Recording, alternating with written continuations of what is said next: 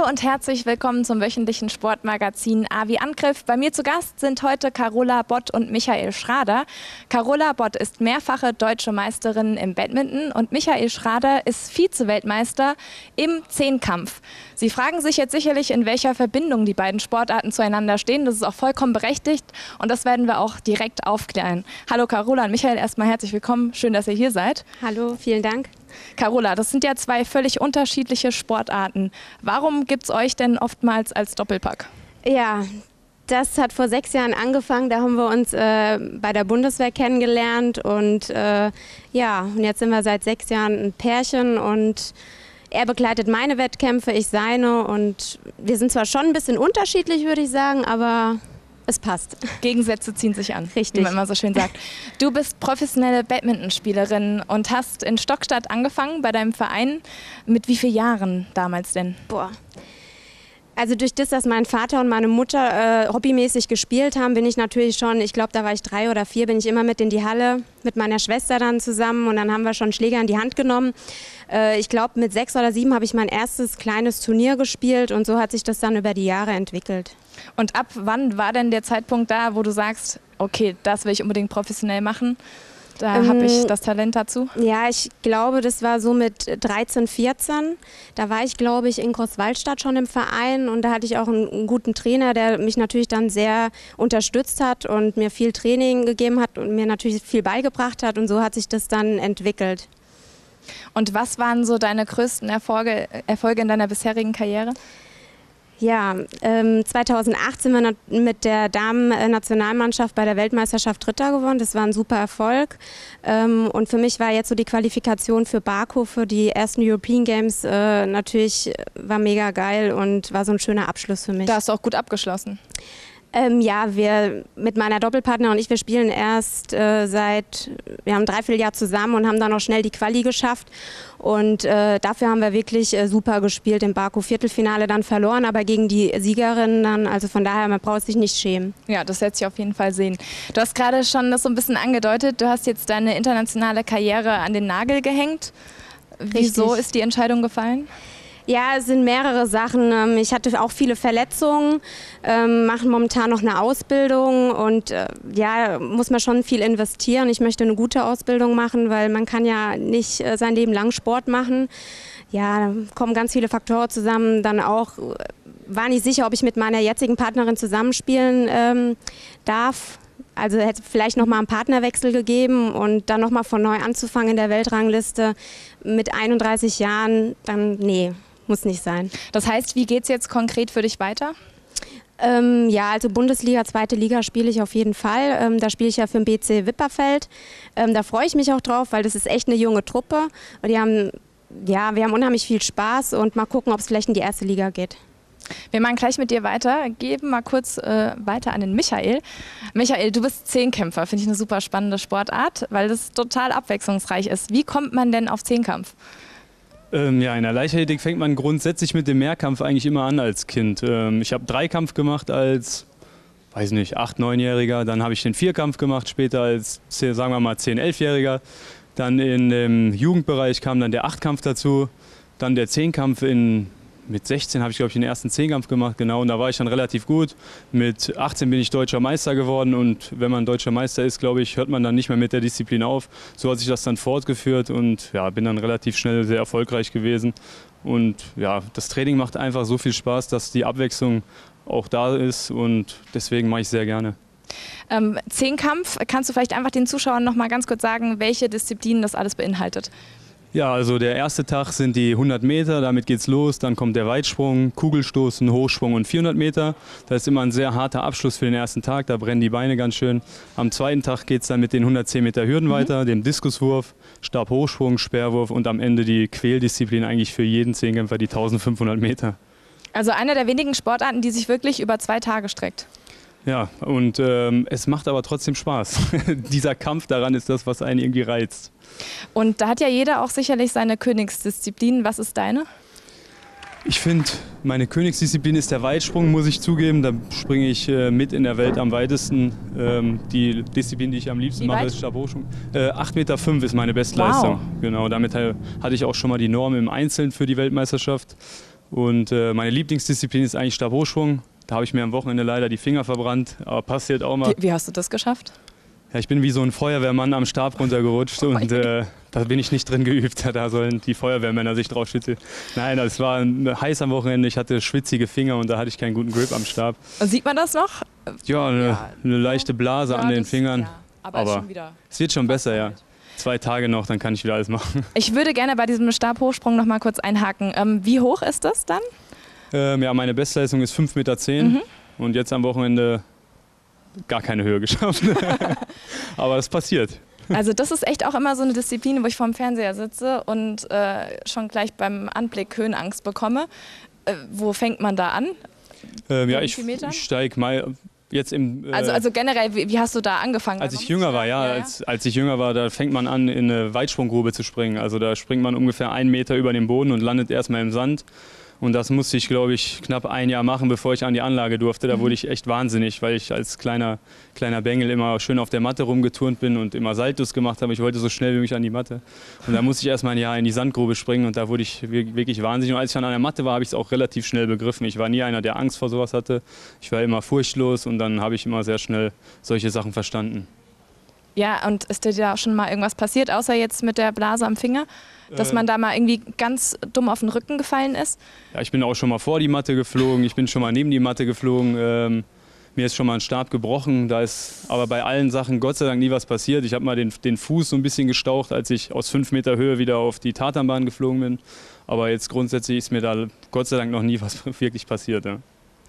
Und ähm, was sind deine nächsten Lieblingsdisziplinen? Du hast jetzt gesagt, hier ähm, vorne dabei ist der Stabhochsprung und der Weitsprung. Das sind jetzt ja, zwei Sprünge. Wie sieht es aus mit ähm, Rennen?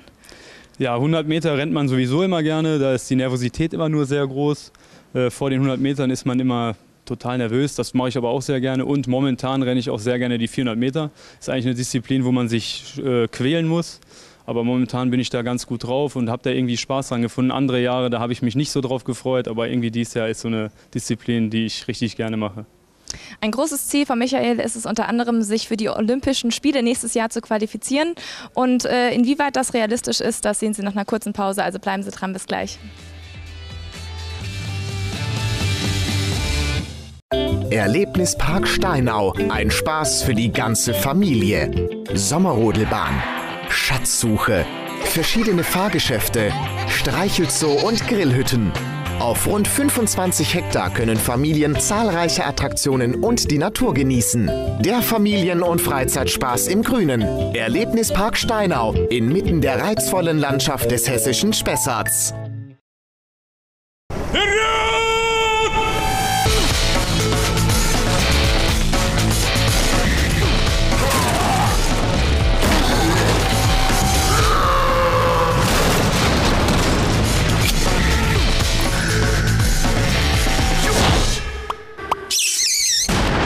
Was war das denn? Löwe. Gute Fenster. Dafür steht Löwe Fenster mit eigener Produktion seit 1930.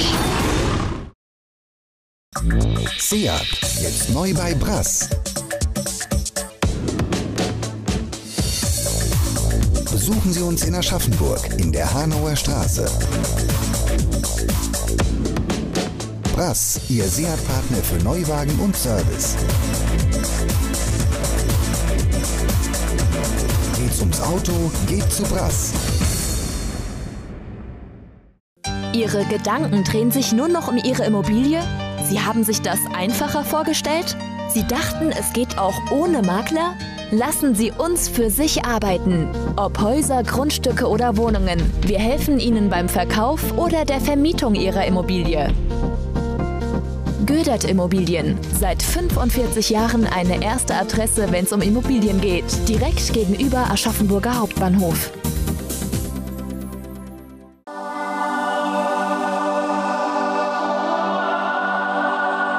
Ob beim Kochen, Essen oder gemütlichen Beisammensein.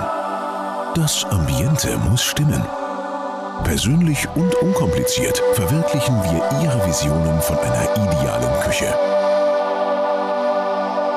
Modern im Design und mit Liebe zum Detail in einer Qualität, die einen Namen hat. AK Küchen in Aschaffenburg.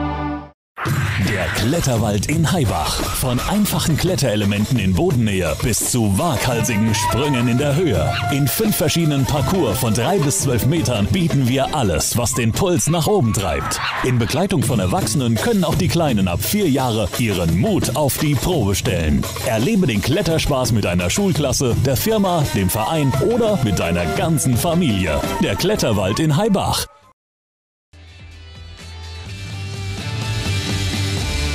Willkommen zurück zum Sportmagazin A wie Angriff. Heute bei mir zu Gast die beiden Profisportler Carola Bott und Michael Schrader. Carola Bott ist professionelle Badmintonspielerin und Michael Schrader ist Vize-Weltmeister im Zehnkampf. Carola, wir haben uns vor der Pause schon ein bisschen über deine Sportart unterhalten. Du machst es schon seitdem du drei Jahre alt bist und ähm, hast jetzt so ein bisschen deine Karriere an den Nagel gehängt, zumindest deine internationale Karriere, auch ähm, verletzungsbedingt. Äh, ja, richtig. Also ich hatte jetzt meine fünfte Arthroskopie am rechten Knie. Ähm, 2013 hatte ich eine Knorpelanbohrung gehabt und musste dann ein Jahr pausieren. Also dann durfte ich keinen Sport machen, nur Reha aufbauen. Und äh, ja, bin dann 2014 im Sommer wieder eingestiegen und hatte jetzt eine tolle Saison gehabt. Und äh, ja, es gibt ja noch ein Leben nach dem Sport und mein Knie hält momentan ganz gut. Ich habe zwar immer wieder Probleme, aber ich möchte es natürlich auch nicht zu sehr reizen und äh, ja, weil ich ja Angst habe, dass es natürlich auch wiederkommen kann. Genau, das heißt, für dich geht es jetzt in der zweiten Bundesliga weiter und du Richtig. hast mehr Zeit, äh, deinen Freund Michael zu unterstützen bei seiner Sportart. Äh, genau, ja. das wirst du natürlich super machen. Ähm, und äh, ich habe ganz vergessen, die Lilly anzukündigen. Die ist nämlich jetzt äh, ganz neu dazugekommen. Gerade juckt sie sich. Das ist äh, eure Hündin, die ja. ihr seit drei, vier Jahren habt. Und ähm, ja, die ist jetzt noch ein bisschen dazugestoßen, ist aber ganz brav, also braucht sich keiner vor Genau, ja, die hat ein bisschen gejammert, deshalb ist sie jetzt bei genau. uns wieder. Sehr nett. Also liebe Zuschauer, nicht, dass Sie sich wundern. Ähm, machen wir bei dir weiter. Du hast Einzel und Doppel gespielt. Was war denn immer so deine Lieblingsdisziplin? Lieber mit einer Partnerin oder lieber alleine? Ja, also ich habe ja jahrelang eigentlich Einzel gespielt und äh, das habe ich auch sehr gerne gemacht, weil wenn ich auf dem Spielfeld war und ich habe ein Spiel verloren, dann war ich natürlich dran schuld. Ähm, äh, nach meiner Verletzung äh, habe ich dann gesagt, okay, es ist ein bisschen schwierig mit, dem, mit der Kniesache dann nochmal einzeln zu spielen. Der Aufwand ist natürlich auch viel größer im Damen-Einzel, ähm, was Trainingstechnik, also trainingstechnisch, was ich da alles machen müsste. Und deshalb bin ich dann äh, letztes Jahr ins Damen-Doppel gegangen, weil ja die, einfach die Laufwege nicht so weit sind und ja, der Trainingsaufwand auch nicht ganz so enorm ist. Ja, und dabei bin ich jetzt eigentlich auch geblieben und ich habe aber sehr viel Spaß im Damen-Doppel, was ich eigentlich nicht gedacht hätte. Und äh, ich habe eine sehr junge Partnerin, sie ist erst 20 und wir hatten halt unheimlich viel Spaß gehabt, weil sie hat so viel Energie gehabt und die ist dann doch noch ein bisschen, ja, wie soll ich das sagen, so viele Sachen kannte sie noch nicht und da konnte ich ihr natürlich viel helfen und sie hat auch viel von mir gelernt und das äh, war super für uns genau, beide. Genau, so eine gegenseitige Unterstützung. Richtig. Sie die Spritzige und du die Erfahrene. Genau, ja. Jetzt wollen wir gerade noch mal wieder zu Michael äh, rübergehen. Ähm, ihr seid seit ein paar Jahren ein Paar, habt euch bei der Bundeswehr kennengelernt und äh, du bist Zehnkämpfer, was ja wirklich eine sehr äh, abwechslungsreiche Sportart ist. Ich glaube, abwechslungsreicher geht es gar nicht mehr. Und äh, hast auch gerade vor der Pause schon ein bisschen was über deine Lieblingsdisziplinen erzählt. Das war hauptsächlich äh, das Springen. Ähm, ja. ja. Stabhochsprung und ja. Weitsprung. Ähm, wie sieht es denn aus mit, mit Kugelstoßen und äh, ja, Speerwurf? Das gehört ja auch noch alles dazu. Mm, ja, ähm, Sperrwurf mag ich eigentlich, aber da habe ich immer Ellbogenprobleme. Da habe ich jetzt auch äh, dieses Jahr beim Wettkampf ein dickes Ei am Ellbogen gehabt, weil ich mir da irgendwas verletzt habe, irgendwas gezogen habe. Kugelstoßen mag ich gar nicht. Da sind meine dünnen Ärmchen äh, nicht stark genug für die 7 Kilo Kugel.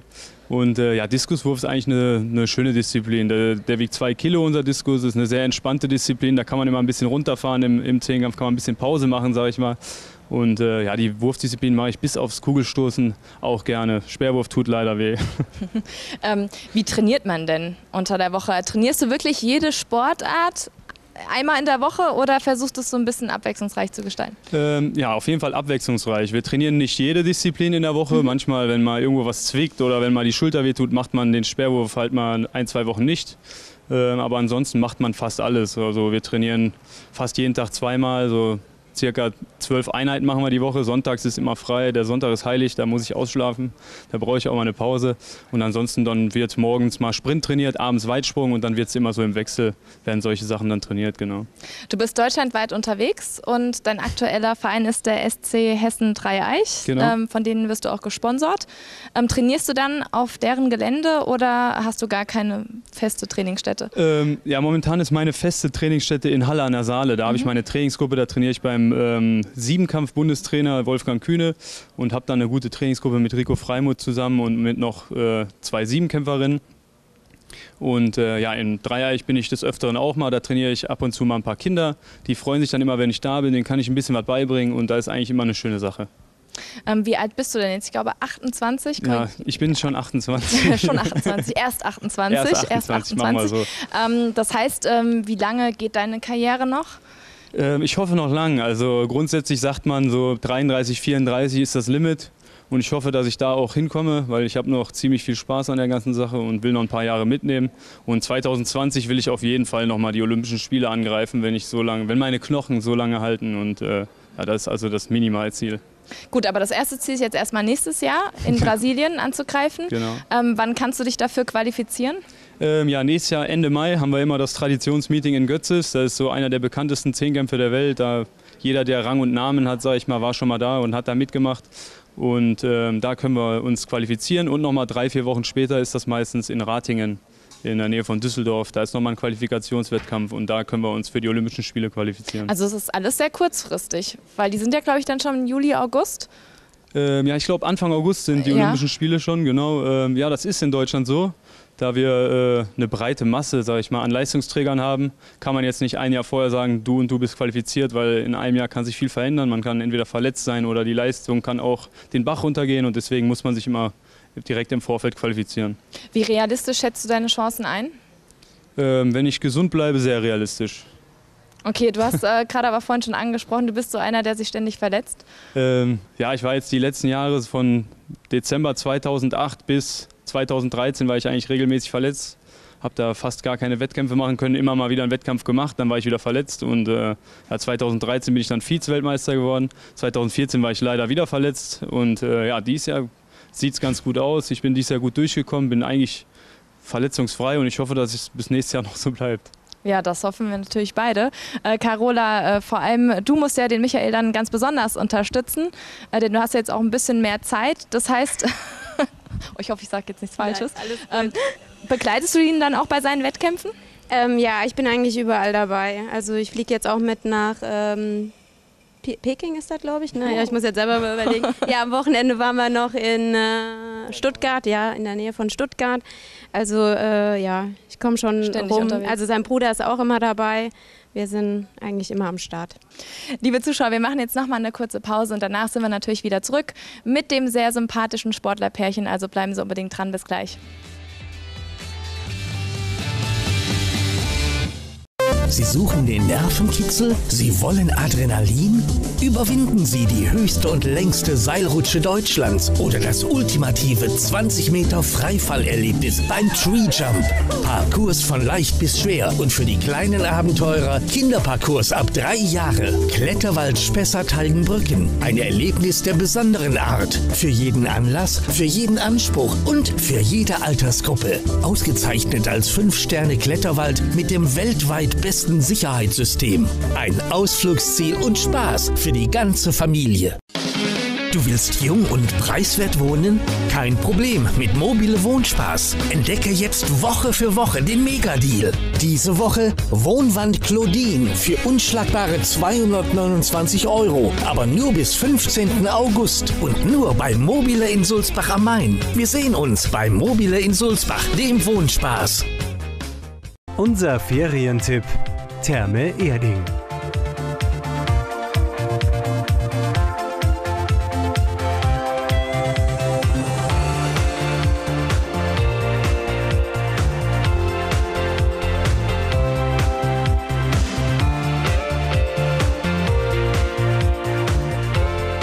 Die größte Therme der Welt lädt Sie ein. Willkommen in Ihrem Urlaubsparadies. Die Michaelismesse in Miltenberg, das größte Volksfest am bayerischen Untermain. Mit Volksfeststimmung in Festzelten bis in die Abendstunden, Marktstände, Vergnügungspark und Ausstellungen. Und zum Festausklang am Sonntagabend, 6. September um 21 Uhr, das Brillanthöhenfeuerwerk. Viel Spaß auf der Michaelismesse in Miltenberg vom 28. August bis 6. September. Bei rheumatischen Schmerzen in Rücken, Gelenken und Muskeln vertrauen Sie auf das natürliche Arzneimittel Rubax. Rubax wirkt effektiv und ist gut verträglich. Rubax hat mir mehr Beweglichkeit gegeben und dadurch ist auch die Lebensqualität gestiegen. Rubax, stark bei rheumatischen Schmerzen in Rücken und Gelenken. Rezeptfrei in jeder Apotheke erhältlich. Zu Risiken und Nebenwirkungen lesen Sie die Packungsbeilage und fragen Sie Ihren Arzt oder Apotheker. Herzlich willkommen bei Appel Baufinanzierung in Niedernberg, einem der größten freien Vermittler für Immobilienfinanzierungen im Raum Aschaffenburg. Ich bin Christian Appel und ich finde für Sie den Bankpartner, der Ihre Wünsche am besten erfüllt. Hohe Verlässlichkeit, günstige Zinsen und flexible Finanzierungsstrategien sind mein Markenzeichen. Mein Angebot umfasst sowohl ortsansässige wie auch überregionale Bankpartner. Sie entscheiden, ob Sie den Klick in der Stadt lassen oder aber einem anderen Anbieter den Vorzug geben. Lass den Klick in deiner Stadt. Eine Initiative von MeinTV aus Leidenschaft für unsere Region. Mit freundlicher Unterstützung der Sparkasse Aschaffenburg-Alzenau. Prima Sonntag bringt Deutsche Vita an den Untermain. Gewinnen Sie ein unvergessliches Wochenende mit der italienischen Ape Calesino. Ob durch die Altstadt von Aschaffenburg, durch den Spessart oder den Kalgrund. Mit der Ape Calesino verspüren Sie ein echtes italienisches Lebensgefühl. Prima Sonntag bringt Sie Italien ein Stück näher.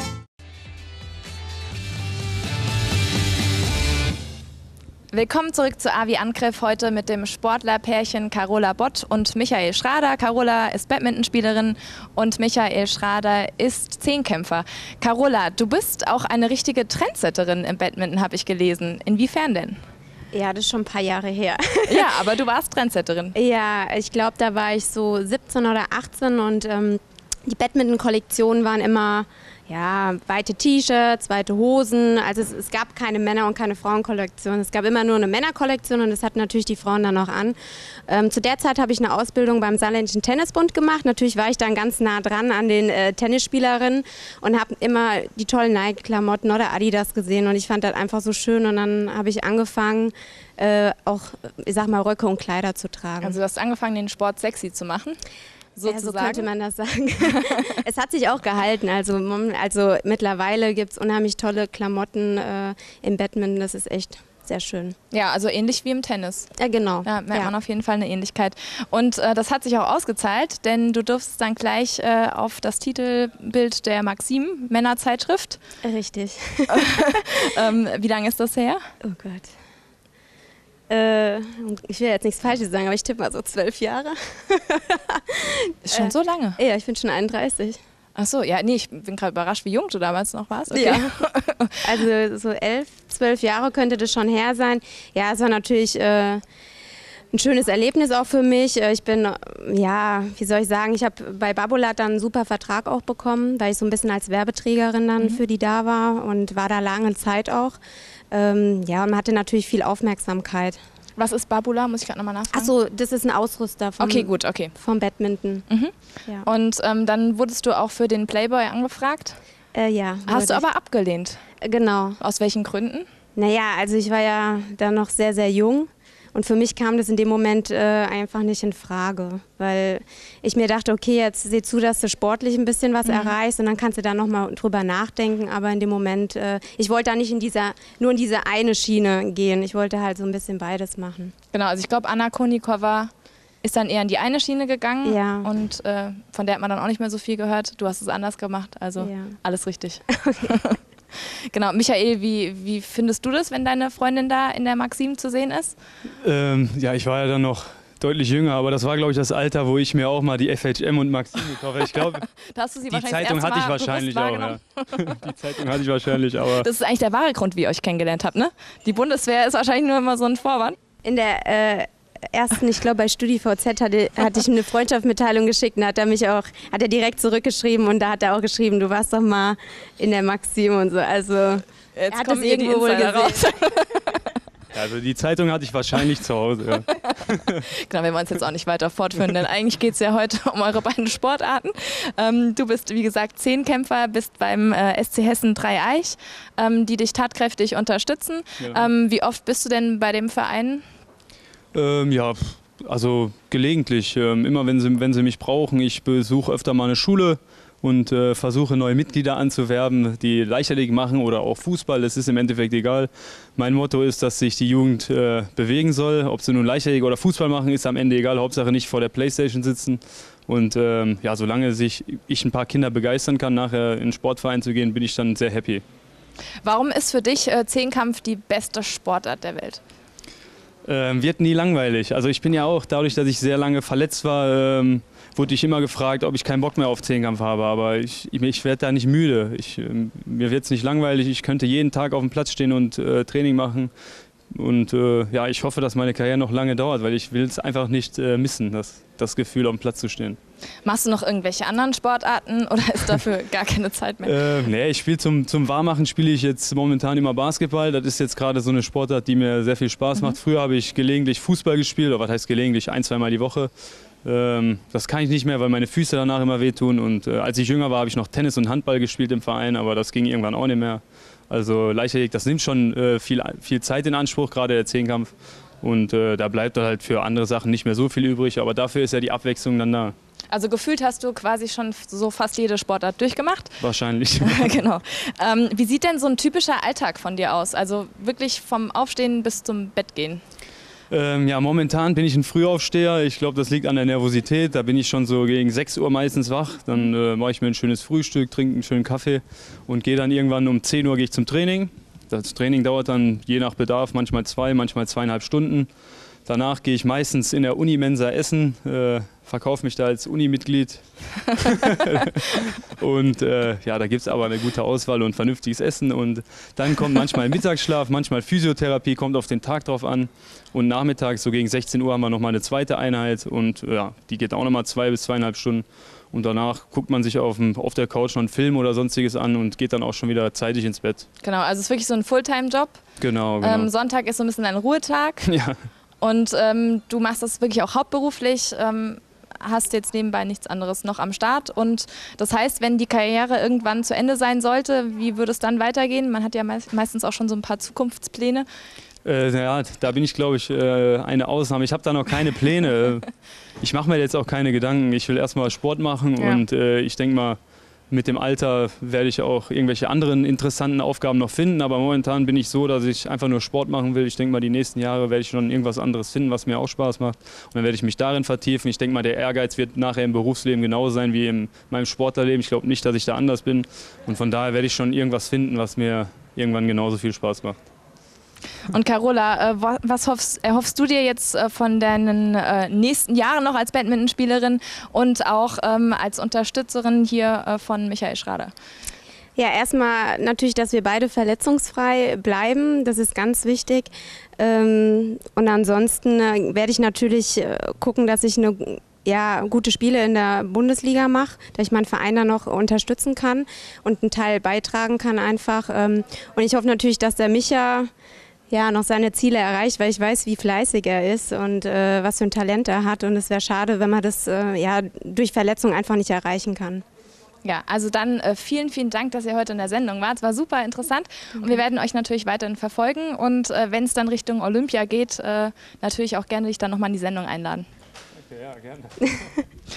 Liebe Zuschauer, ja, wir sind am Ende der Sendung und das ist leider auch meine letzte Sendung bei Mein TV und ja, von Avi Angriff. Deshalb auch die Blumen. Nochmal ein herzliches Dankeschön an das Autohaus Kunzmann. Die Sendung wird es natürlich weiterhin geben und zwar mit meinen beiden Kolleginnen Bianca Walter und Julia Weihrauch. Ich möchte mich bei Ihnen für all die Jahre bedanken, ähm, dass Sie immer eingeschaltet haben und äh, ja, wir sehen uns ja vielleicht so auch nochmal irgendwann. Also alles Gute und vielen Dank.